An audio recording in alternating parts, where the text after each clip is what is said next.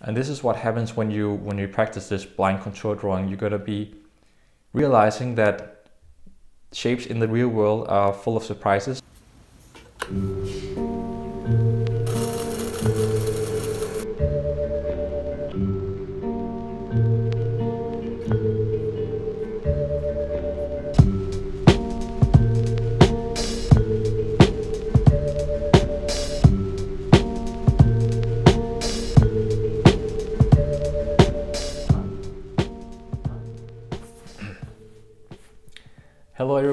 And welcome to this brand new YouTube channel.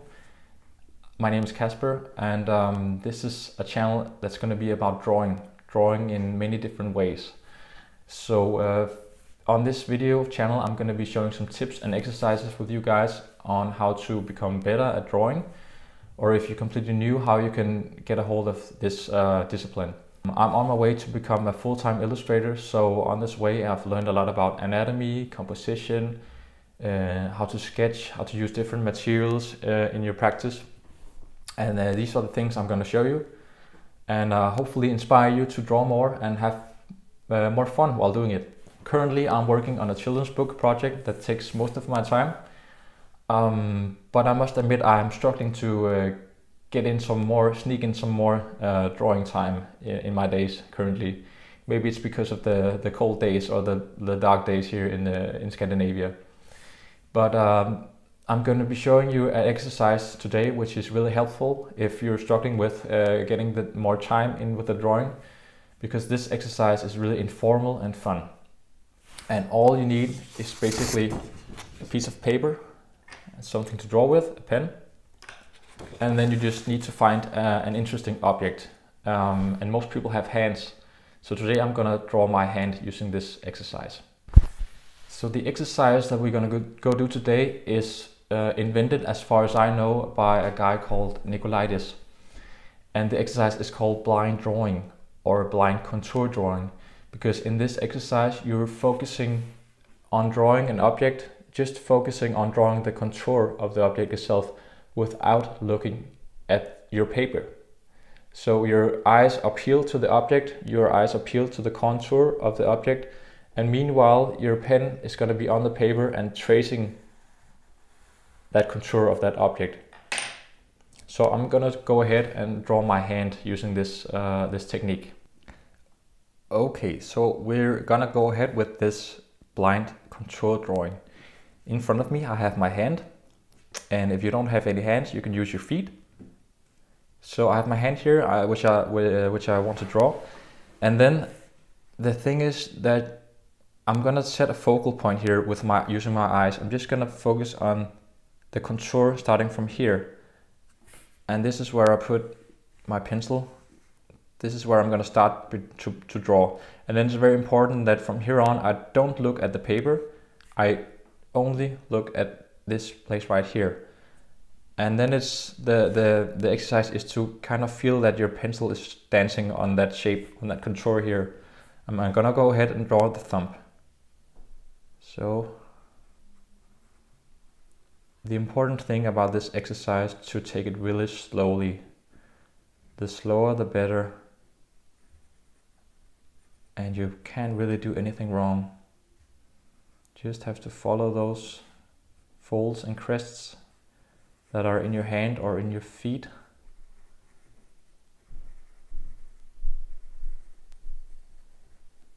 This might be a difficult thing to to do in the beginning but once you get a hold of it it's really a fun and how can I say it uh, very um, it sets you free in a way this exercise. Uh, the nail here. And you can tell how many bumps there are on this hand of mine. It's quite interesting to see there goes a knuckle. Here another knuckle and a small. The more slow you'll do this, the more details you'll find actually. And here, go up here so you guys can see. Nail here. Mm. And when you have my, my wrist actually, you can see, but here it's gonna go out here. and I'm trying to trace over here where I left.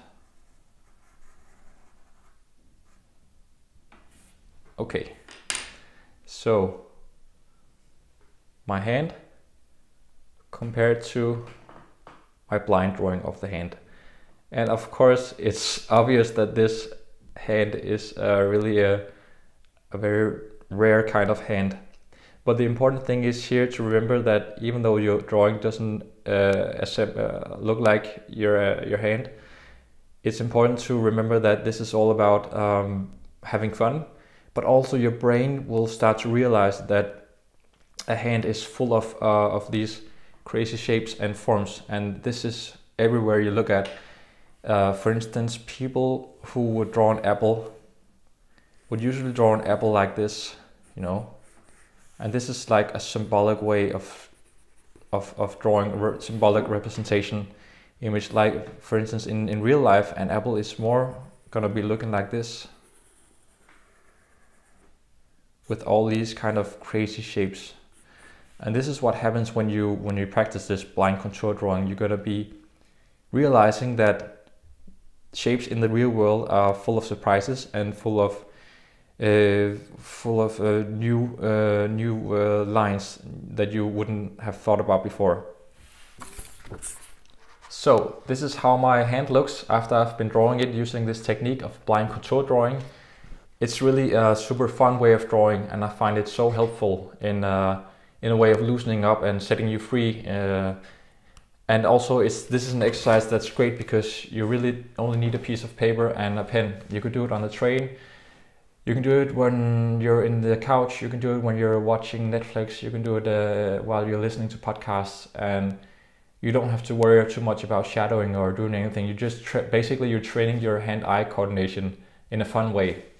So I'm hoping that this was a good exercise for you guys. Please uh, let me know in the comments what which object you choose to, uh, choose to draw, and, and, let me know what kind of content you wanna have uh, in the future. Have fun drawing.